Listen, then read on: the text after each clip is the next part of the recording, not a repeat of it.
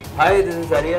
Please subscribe to Doctor City. தூய கல்ச்செக்கு எண்ணெய்க்கு மீஹா ஆயில் கிழிகிறதா பிக் பாஸ் ஹவுஸ்மேட்ஸின் முகத்திரைகள் தெரிகிறதா அவர்களின் உண்மை எண்ணங்கள் அப்படிங்கிற மாதிரி என்னடா அப்படிலாம் பேசுறியே பிக் பாஸ் வாய்ஸில் அப்படின்னு கேட்டிங்கன்னா கண்டிப்பாக கிடையாது.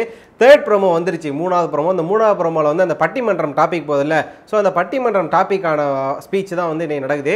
அதில் ஃபர்ஸ்ட் ஆஃப் ஆல் பார்த்தீங்கன்னா இது ஒரு போட்டி களம் தான் இது போட்டி தான். இது குடும்பம் கிடையாதுன்னு சொல்லி இந்த நம்ம சுரேஷ் சக்கரவர்த்தி ஸ்டார்ட் பண்ணுறாரு அதுக்கடுத்து ரியோ என்ன சொல்கிறாருன்னா இங்கே வந்து எப்படி சொல்கிறதுனா எல்லாருமே அவங்களோட விஷயத்துக்காக வந்திருக்கோம். எவ்வளவோ பிரச்சனையை பார்த்தாச்சு.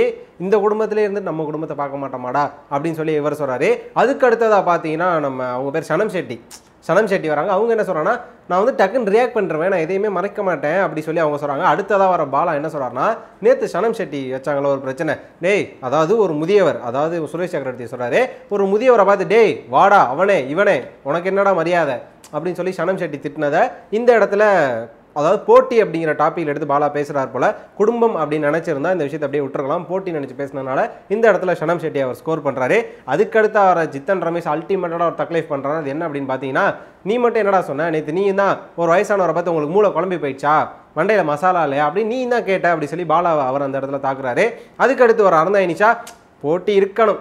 குடும்பம் தான் அப்படி சொல்லிட்டு அறந்தாயினிச்சா இனிஷா ஒரு ஸ்பீச் விடுறாங்க. அதுக்கப்புறமா அவர் சுரேஷ் சக்கரவர்த்தி என்ன சொல்கிறாருன்னா இருக்கணும் போட்டி இருக்கணும். இவன் சரியில்லை இவன் கார்னர் பண்ணுறான் அவன் கேம் விளாட்றான் அவன் ஸ்ட்ராட்டஜி பண்ணுறான் அவனை நாமினேஷனில் குத்து அவனை வெளியில் அனுப்பு அப்படி சொல்லி இப்படி தான் அந்த வீட்டில் நடக்குன்னு சொல்லி சொல்கிறாரு இதோட வந்து பிக் பாஸ் ப்ரோமோ முடிஞ்சு. பட் இந்த ப்ரோமோவில் பார்த்தீங்கன்னா பாலா சொல்லும்போது சனம் காட்டுறாங்க ஜித்தன் ரமேஷ் சொல்லும்போது வந்து பாலாவை காட்டுறாங்க. இவங்களோட ரியாக்ஷன்ஸ்லாம் வேரியேஷனாக இருக்குது பட் சுரேஷ் சக்கரவர்த்தி பேசும்போது ரியோவையும் அனிதா சம்பத்தையும் காட்டுறாங்க. ஸோ இதுலேருந்து பிக் பாஸ் என்ன சொல்ல வராரு நமக்கு தெரியலை.